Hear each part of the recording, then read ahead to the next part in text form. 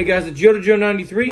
So, over on Sunday when I did my DC podcast, I got to finally see Justice League Crisis on Infinite Earths Part 1. So, here's my movie review. So, I think the DC animated movie universe has been a pretty mixed bag, similar to the DCEU. But that being said, we have had some great and some awesome film ratios here. Some of my favorites are Batman Under the Red Hood, Soul of the Dragon, and Death of Superman are also great. I really love this movie. And now, as for the review for Crisis, Part 1, I really love this movie because it stands for everything that Marvel should have done with the multiverse. Also, this this is way more for uh, this is way more faithful to the comics than we got in the CW Arrowverse. I also love how front and center my boy GA and Batman and in the Flash are. The comedy is also so good for a DC movie. It's not Marvel comedy that's always in your face. It feels very serious toned, but also funny laughs with the right characters. And the voice cast here is top notch. Um, I enjoy each of the characters and their arts and their act their their arcs here. The ending of the movie is jaw dropping, and I can't wait to dive into this review with you guys. So I can say I highly recommend this movie for you guys. If you guys are DC fans, this is a highly recommended movie. Now this is a little. If you guys have ever read Crisis, Crisis isn't like, you know, when the comics do, like Adam West does the boom pow, like, you know, punch, punch, boom. This isn't one of those DC movies where you're getting right to the action. It has to build. Crisis is something, it's not Infinity War where Thanos shows up and then instantly the world is in chaos. Crisis does the true multiverse falling apart. It really shows you the consequences of everything. And honestly, there's moments in this movie that, no disrespect to Infinity War, but there's true moments here where I teared up even more than I teared up in Infinity War and Endgame. Like, you really felt the emotion.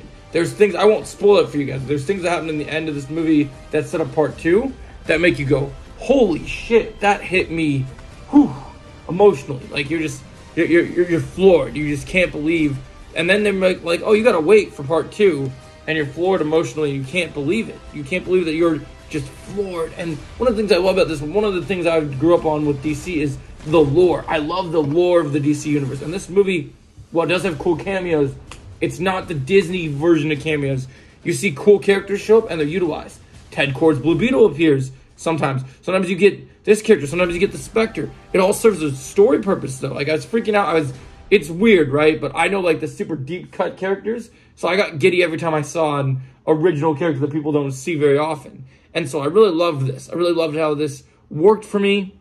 I really thought thought it really just worked. Like something about it just totally fits together. It gels, it jams. Like also, so in terms of the cast, Meg Donnelly as Supergirl slash Harbinger. They had a Harbinger in the Crisis um, on the Arrowverse, but they turned it into Diggle's wife Lyla. Here, Supergirl it actually fits. It actually makes sense.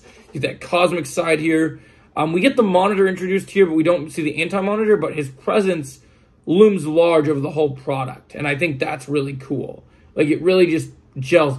Also, since we're comparing this to the Arrowverse version, the Amazo, like, android that takes on all the heroes, the way he just smacks up Superman, Flash jumps in, Green Arrow jumps in, the Justice League have their battle. We also even have Lex in his battle suit being voiced by Spock himself, Zachary Quinto, which I thought was really good. And overall, the voice cast is great. I mean, you had Superman was it Superman in here? I, I forget if it's Superman or if it's Green Lantern. I believe Green Lantern here was voiced by Nathan Drake himself, Nolan North, which I thought was really cool. Um, so I really did enjoy the casting. I thought the casting here works. Jensen Ackles, of course, is Batman and proves even more why he deserves to play Batman in the DCU. Um, but I still think there's that's a video for another day. We still got to talk about candidates for that. Since I did my Supergirl, Supergirl casting video, which you should be seeing right now, we'll talk about that more later. Um, but I feel that this movie just it it gets it's a part one, but it doesn't like unlike Spider Verse Part One. The movie's visually stunning. It, it gets you hooked. You're interested. It takes a little while to get going, but when it gets going, it gets going. The action is spectacular. The animation is properly done. Um, the storytelling is fantastic. The fight scenes with Amazo are great. The fight scenes with Lex Luthor are great. The build up to some of the other, they show the Injustice League. Some of the Injustice characters are great, like seeing Owlman on the other Earths. Just how this, this, this movie takes a crap all over Multiverse of Madness, and I love it. Like, it literally just goes, hey, look, here's a true Illuminati. Here's this. Here's the true, like, Multiverse expanded. And then when it ends, everything collides and gets you ready for part two in a way that you wouldn't expect. Like, it just really comes together. It gels. You vibe with it. You love it. The soundtrack's great. Like, honestly, I just loved it. Seeing the Justice League, I liked the actress they picked for Wonder Woman. Her accent was great. The way she interacted with Canary and the other characters, just really good. A really good DC movie about the Justice League, about Crisis, a faithful adaptation of Crisis, and I highly recommend it. I'm going to give it a 10 out of 10, guys. It looks fantastic.